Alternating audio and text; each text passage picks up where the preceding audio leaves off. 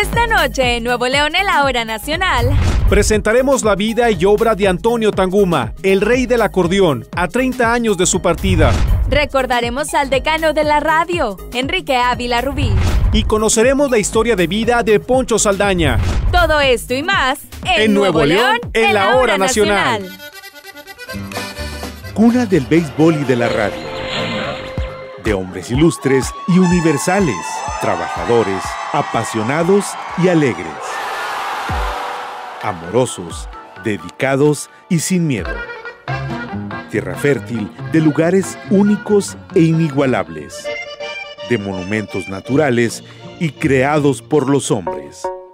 De exquisita gastronomía a la leña o al carbón con un sol travieso que salta de patio en patio y que reúne a la familia echando taco y relajo. Los retos, los triunfos, las novedades de nuestro estado y más. Nuevo León en la hora nacional. Iniciamos. Muy buenas noches, bienvenidos y bienvenidas a una nueva emisión de Nuevo León en la hora nacional. Les saludamos Porfirio Medellín y Fernanda López. Le hacemos una cordial invitación para que nos acompañe durante la próxima media hora porque hemos preparado un programa que seguramente será de su agrado. ¿Sabías que desde 1988, cada 1 de diciembre, se conmemora el Día Mundial del SIDA? El lema de este año del Día Mundial del SIDA es Las comunidades marcan la diferencia.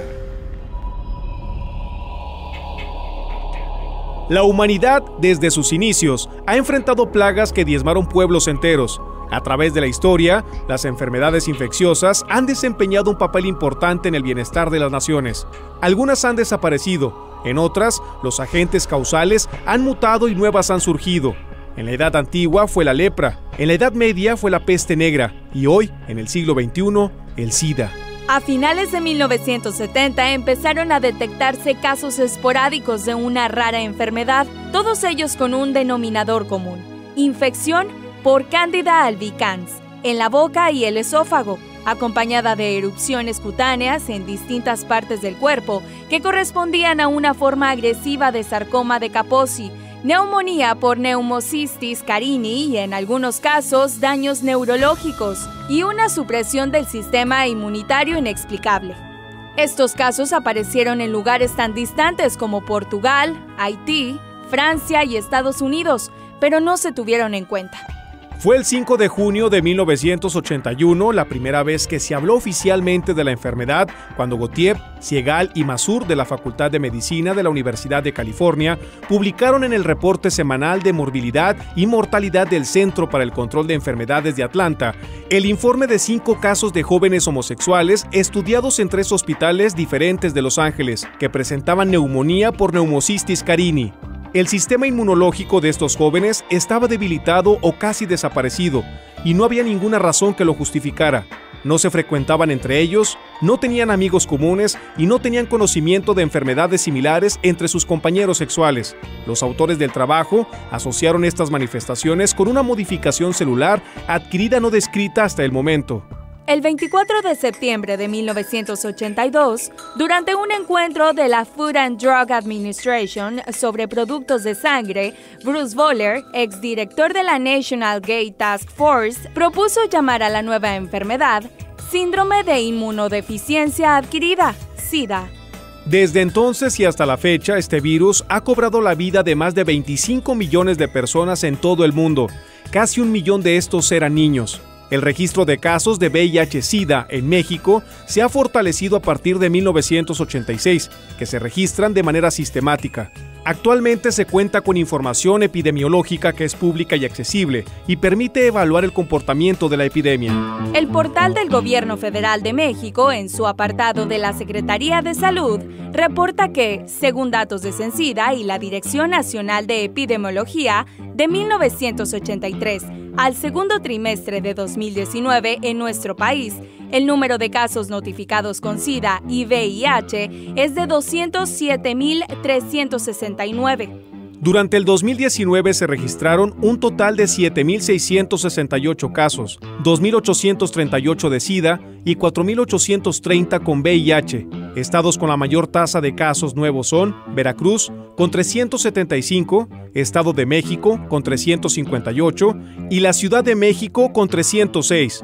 En Nuevo León, durante el primer trimestre del 2019, se registraron 79 casos de SIDA, 41.07% superior a la que se tuvo en ese lapso del 2018, que fue de 56 casos. 67 fueron destacados en personas del sexo masculino y 12 en el sexo femenino.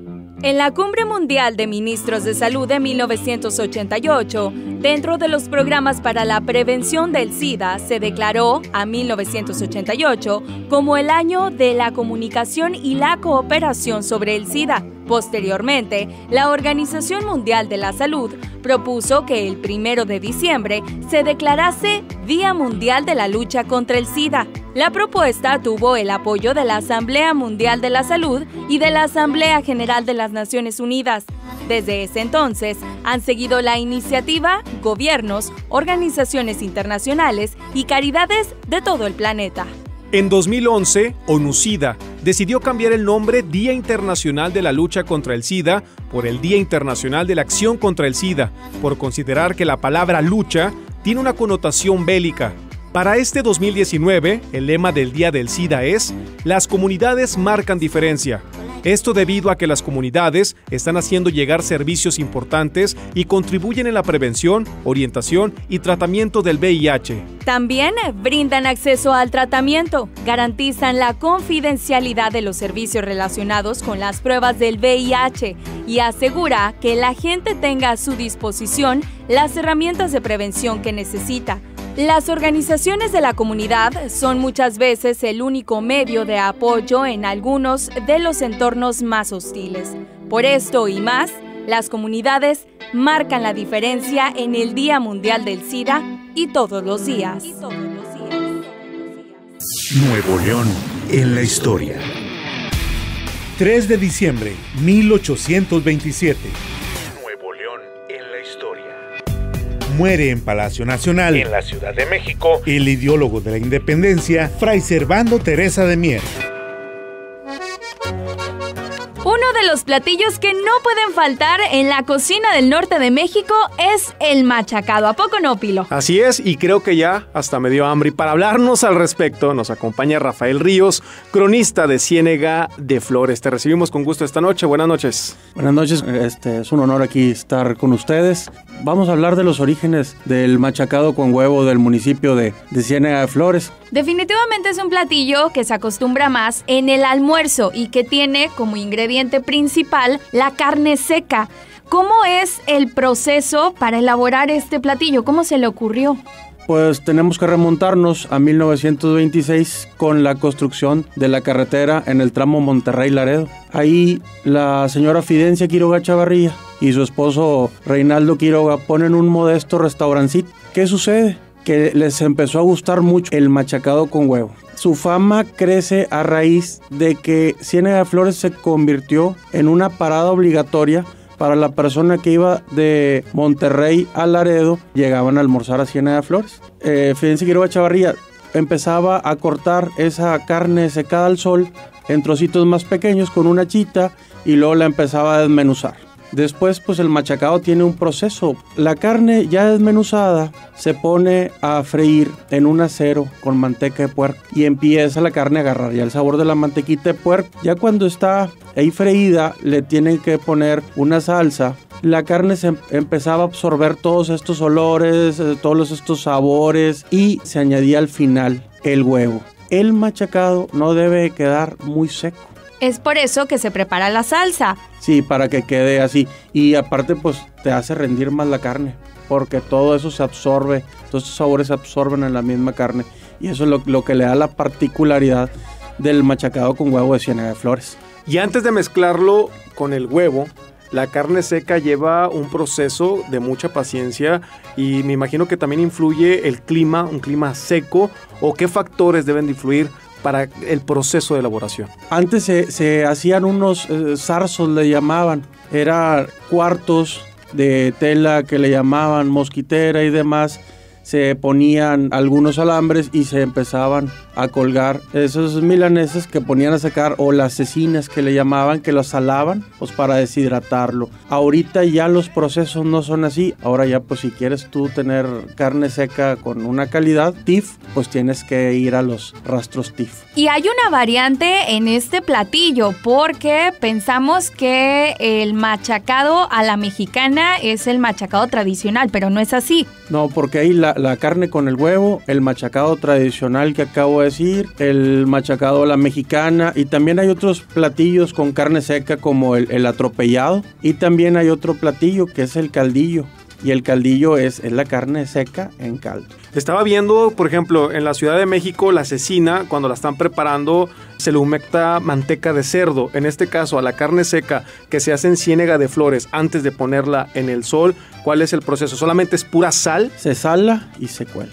No podemos atribuirle la carne seca exactamente a ningún municipio, porque nuestras etnias ya hacían ese, ese proceso, es más antiguo de lo que se cree. Lo que sí sabemos es que es un platillo muy mexicano. Nuevo León no es el único estado que lo consume. Hay variantes de estos eh, platillos en otros estados, ¿verdad? Claro que sí, y inclusive he visitado algunos hoteles o uh, algunos restaurantes donde entre sus buffets y sus platillos ofrecen el machacado con huevo de Ciénaga Flores, así con ese nombre. Entonces, es la, la capital del machacado con huevo Ciénaga de Flores. Una tradición que yo creo que ahorita nos aclara mucho que la forma de prepararse es muy importante que la gente lo conozca porque hasta en la misma comunidad regiomontana hay confusión de, de cuál es la preparación exacta y correcta de este platillo tan peculiar de, del norte. Claro que sí. Rafael Ríos, cronista de Ciénaga de Flores, ¿algún otro dato que se nos esté pasando del platillo de esta noche, el machacado? No, pues nada más invitarlos que cuando pasen por ahí por Ciénaga de Flores lleguen a degustar este platillo típico, cualquier vueltecita, pues si no estamos muy lejos, aquí estamos a unos 30, 40 minutos y no hay mucho tráfico, por allá los esperamos y les hacemos la invitación a Ciénaga de Flores. Sin duda, Porfirio, ¿el otro fin de semana? Nos vamos para allá. Nos vamos para allá, muchísimas y, gracias. Gracias y felicitaciones, lo mencionábamos también que se está viendo una nueva generación de cronistas y es un placer que se empapen de esto, de la historia, de lo nuestro, para pasarlo de generación en generación. Gracias. Claro que sí, gracias a ustedes. Buenas noches. Nuevo León en la historia. 5 de diciembre, 1989. Nuevo León en la historia. Muere en Monterrey, Nuevo León, Antonio Tanguma Guajardo, el rey del acordeón compositor de melodías como El Cerro de la Silla, Evangelina, entre otras. Yo el acordeón lo aprecio como apreciar a mis hijos, a mi familia. Lo quiero. Yo creo que hasta le he dado besos a mi acordeón. Antonio Tanguma Guajardo. Antonio Tanguma Guajardo nació el 26 de enero de 1903 en El Grullo, China, Nuevo León. Hijo de Teófilo Tanguma, originario de General Bravo, y Victoria Guajardo de China, Nuevo León. Desde pequeño, Antonio mostró interés por la música, pero la situación económica familiar no le permitía la adquisición de un acordeón. Pasó el tiempo y el joven Tanguma comenzó a trabajar en el rancho de don Guillermo García Welch, y gracias a este que le realizó un préstamo, compró su primer acordeón que le costó 20 pesos. Ya con el instrumento en casa, ensayaba día y noche hasta sacar sus primeros acordes. Al poco tiempo, el acordeón se descompuso quedando irreparable. Tanguma siguió trabajando en el rancho con la firme intención de juntar un dinerito para irse a Estados Unidos.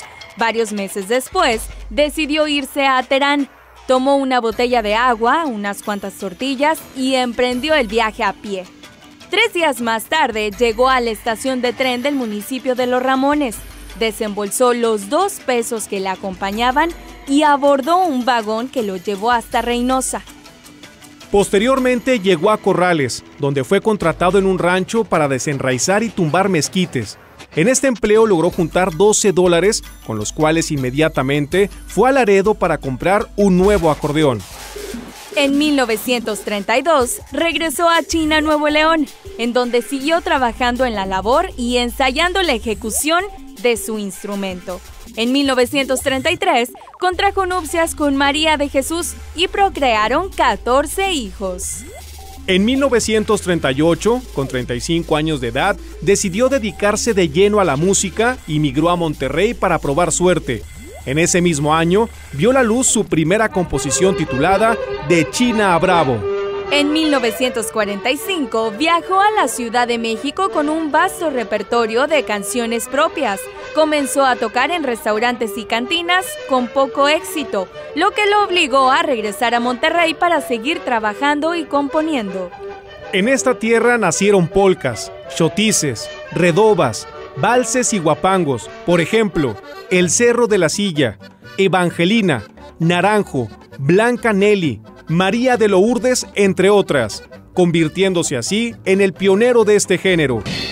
Con el paso de los años, Tanguma obtuvo reconocimiento nacional e internacional. Sus polcas, redobas, chotices y guapangos poco a poco fueron incluidas en los bailables de generaciones enteras de niños en miles de escuelas de todo el norte del país.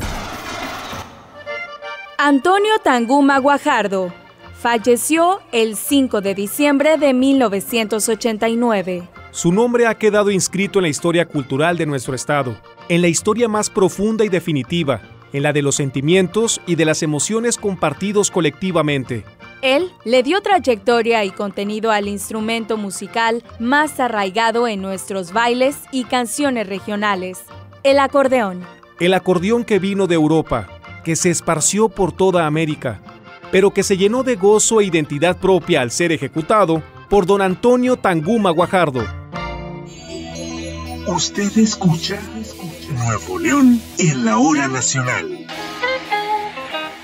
Gracias por continuar en sintonía de Nuevo León en la hora nacional. Le invitamos a ponerse en contacto con nosotros vía telefónica en el número 81 2020 2513. Continuamos con más.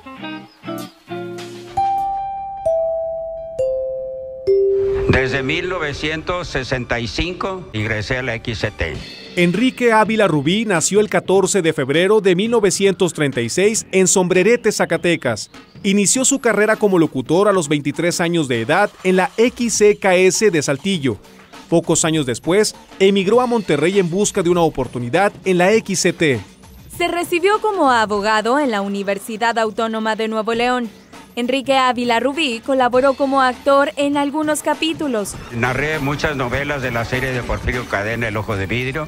Hice papeles de algunos personajes en ellas también. La historia de Porfirio Cadena alcanzó tal popularidad que se transmitió en Chicago, Los Ángeles, Nueva York, así como en Venezuela y República Dominicana.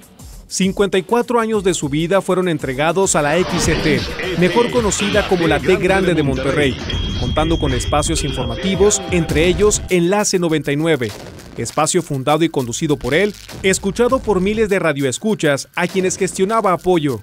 Sus más de tres décadas de transmisiones en la radio, a través del noticiero Enlace 99, fueron reconocidas en 2015 en el aula magna del Centro Cultural del Colegio Civil, en donde compartió un emotivo mensaje sobre la profesión que desempeñó durante décadas. Mira, el mejor recuerdo que creo podemos tener todos los que estamos en el micrófono, todos los que estamos en el medio de comunicación, es la congratulación que tenemos con la gente, con el auditorio, servir para ellos. Yo creo que todos los días reflexionamos, hice bien mi papel el día de hoy, orienté bien, informé bien.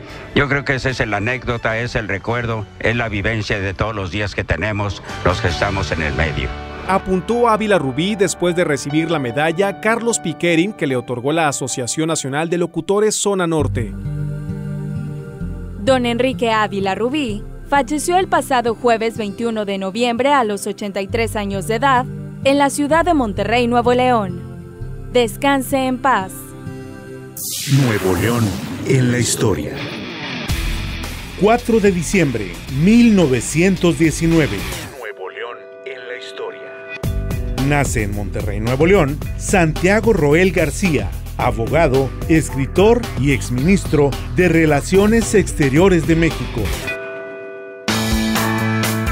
En Monterrey no todo es música norteña, también queremos rock. Precisamente esta noche nos acompaña una voz reconocida en el mundo de la radio por dar pauta a cientos de bandas que encienden los sentidos de la audiencia. Aunque se sigan rolando los años, por sus venas seguirán corriendo el rock y el heavy metal. Gracias a Poncho Saldaña por acompañarnos esta noche en Nuevo León en la Hora Nacional. Bienvenido. Gracias, todo un honor y pues saludos para toda la gente que está escuchando por todo el estado y pues un placer poder estar aquí y mil gracias por la invitación. Poncho Saldaña, ¿cuántos años tenías o cuándo fue el momento cuando sentiste la adrenalina del rock? Desde niño siempre fui apasionado, mi papá me daba domingo para ir a comprar dulces o juguetes, lo guardaba y ahí me iba a comprar los discos sencillos de lo que estaba de moda. Por ejemplo, el primer disco que compré fue el de Mendocino, del quinteto de Kirk Douglas. Esto fue en 1968.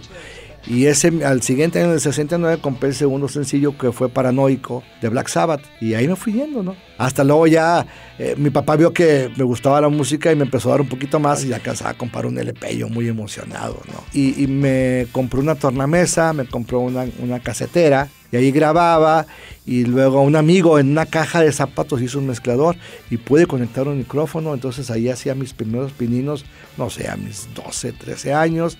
Y luego me tocó viajar a, Estados Unidos a estudiar, a Glenwood Springs, Colorado. La señora con la que yo estaba eh, de intercambio, me encantaba verla cómo hacía su programa de radio.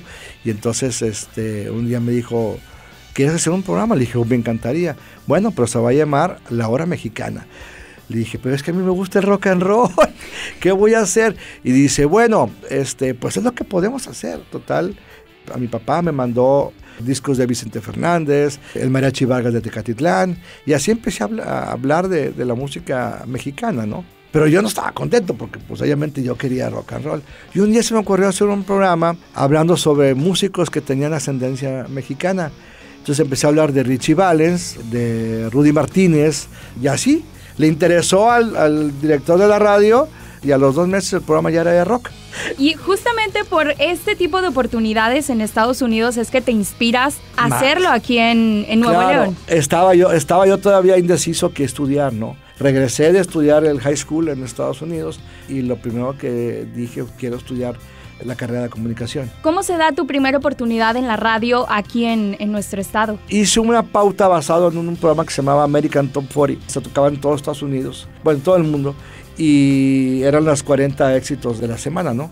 Entonces me inspiré mucho y ahí sí se me ocurrió hacerlo de Museo del Rock con un amigo llamado Alejandro Porras. Estábamos en mi casa, sacamos, dije, tráete tus discos viejos, yo me traigo los, los, míos. Y ahí empezamos. Entonces mi amigo dice, oye, toda esta música es como un museo. Y eso es, es el concepto que ando buscando, museo del rock. Esa es la palabra, ese es el concepto. Y ahí empezamos a, a, a diseñar el, el concepto. Fui a mostrarlo a se llamaba Radio Monterrey, la estación en aquel entonces, lo que ahorita es la invasora. Fui, me dieron la oportunidad, me dijo, el sábado empiezas, consíguete clientes, los conseguí, pero dije, ay no, tenía 500 watts de potencia nada más, era muy poquita la fuerza. Fui a Stereo 7 y me dieron la oportunidad y este, me dijo, pero ¿tienes clientes? Sí, ya tengo clientes. Bueno, entonces empiezas el viernes y no me presenté en Radio Monterrey. me anunciaron, me senté el 11 de febrero de 1983. En Estero 7 empezó el primer programa de Museo de Rock. Y desde entonces, pues no he parado. Aquí estamos. Nuevo León es un estado con diversidad musical, pero con géneros muy, muy nuestros. Tenemos la, la, música norteña. ¿Cómo ha sido el proceso para seguir cautivando a generaciones con el paso de los años, precisamente con el rock? Por la misma actitud. Pues a mí me gusta mucho escuchar el chotis, me gusta mucho la polka, me, me encanta. La música norteña me gusta mucho. O sea, escuchar la habilidad con la que tocan el acordeón ciertos músicos por ejemplo, de repente cuando sacan música de los montañeses del Álamo me, me emociona, ¿no? O sea, se me hace muy interesante la, la, música. Y es parte de la actitud, ¿no? Entonces, mí una actitud, pero pues pasada rock and roll. Fue lo, lo que ha mantenido esta llama encendida, ¿no? Algo que te caracteriza es el saludo, el jejeje. ¿Cuál es la historia de ese saludo? Ah, bueno, estábamos en la cabina de Estero 7 en 1987, 88, no recuerdo exactamente el año. Eh, todavía no existía eh, la transmisión de, de, CDs, entonces estábamos transmitiendo con discos LPs y estaba viendo el surco con la aguja. No había cue, estaba descompuesto, entonces más o menos a, a simple vista íbamos, ya se va a acabar el, la canción. Y entonces en eso me dice el operador, se acabó, se acabó y me voy corriendo a la cabina de locución y no me, no me acordaba que había tirado yo mismo agua en el piso. Entonces, donde entro corriendo, me resbalo. Iba, iba a decir, ¡estamos en Museo de Rock! Y me resbalé. Y me dijo la parada, oye, se oyó padre, se oyó fresco. Y ahí se quedó ya, no, a ver, perfección. Entonces me acordé de, de, la canción de I Can Get No Satisfaction de los Rolling Stones. I can get no. Y, hey, hey, hey. Entonces lo arreglé y ahí ya se quedó. Hey, hey, y este, desde entonces está, ¿no? ¿Cómo nace la idea de Rolando los Años? Un proyecto que te ha dejado muchas satisfacciones. Esto nació precisamente en Glenwood Springs, Colorado, en high school. Había un área, entonces había una rocola. Y esta rocola se había descompuesto y nomás tocaba dos canciones. Una era Walk This Way del grupo Aerosmith y la otra era Play That Funky Music del grupo White Cherry. Entonces, pues, eh, o escuchabas una o escuchabas otra, le echabas a la bocoleta, nomás tocaba esas dos canciones. Entonces dije, algo, algo va a pasar. Y entonces veía pasar a la gente caminando, a los muchachos, a, los, a mis compañeros, y los veía con el ritmo, y tan, tan, tan, tan, tan, tan, tan, tan, tan, tan, tan, tan. Y dije, alguna vez, alguna vez algo va a suceder con esto, no sé qué. Regresando de allá y veo, eh, entrando a la, a la carrera, nos formamos todos y veo que de repente estaba llevando una banda, ¿no? Y todos bailando, entonces dije, ¿y si ponemos una, un, evento de música bailable con esos dos temas que, que lo puse? Y de ahí salió, ¿no? O sea, ya se quedó. ¿Con qué palabras puede describir los más de 35 años de trayectoria en la radio? Satisfacción, realización y paz. Y de tantas satisfacciones, has llegado a conocer íconos del rock, te has tomado fotografías con ellos, has tenido experiencias. Muchísimos, a Dios gracias, muchísimos. Sí, he tenido oportunidad, no solamente aquí en, en, Nuevo León, sino en diferentes partes de México y de Estados Unidos. Antes que uh, no había conciertos en Monterrey, pues viajaba mucho a. El dinero que juntaba, en lugar de, de comprarme ropa o cosas, este, lo juntaba para viajar a ir a ver conciertos, sobre todo aquí a, Houston y a Dallas, que era lo más cercano, ¿no? Nos íbamos en un autobús y este, íbamos al concierto y ahí dormíamos y se acababa el concierto y de regreso dormíamos de regreso. Pero así vimos muchos y tuvimos la oportunidad de conocer mucha, mucha gente. Este, la oportunidad de tomar una foto con los Rolling Stones, este, platicamos de Dee Snyder, que casi estuvo a punto de estar, de estar en TV Nuevo León, pero desgraciadamente hubo, no, no, pudo llegar. Este, mi ídolo, que es Ian Anderson de Jethro Tull, no, pues no, no, no, no, no, no voy a terminar. Scorpions, este, Def Leppard, muchísimos, muchísimos, muchísimos. He tenido la oportunidad de, de entrevistarlos y al mismo tiempo tomar fotos. ¿Cuáles son los planes a futuro de Poncho Saldaña en la radio y en la vida personal?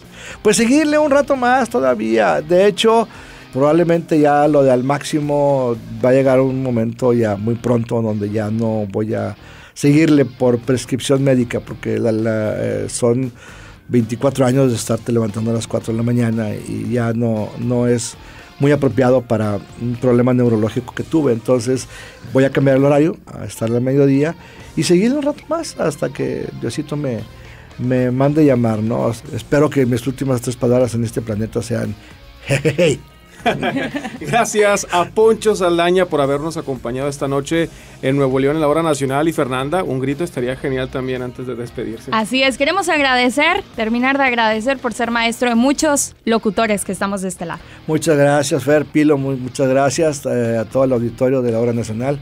Mil gracias y este amo Nuevo León, todavía he vivido aquí y es para mí un, enorme placer estar con ustedes y con todo cariño, ahí les va mi saludo.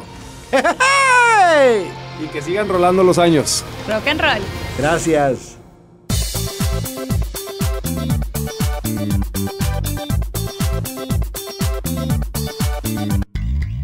Gracias por habernos acompañado en esta emisión de Nuevo León en la Hora Nacional. Se despiden de ustedes Fernanda López y Porfirio Medellín. Recuerde que el próximo domingo a las 10.30 de la noche tenemos una cita en su estación favorita. Buenas, noches. Controles técnicos, Omar Castillo y Roberto Rodríguez. Relaciones públicas, Mario Vasconcelos. Guión y producción, Manuel Uribe. Nuevo León en la hora nacional es una producción general del Sistema de Radio y Televisión de Nuevo León. Ahora, con el debido respeto, escuchemos el himno nacional mexicano.